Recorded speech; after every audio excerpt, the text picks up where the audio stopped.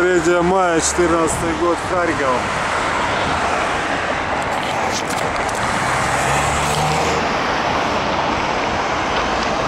Пятнадцать ноль пять по Киеву.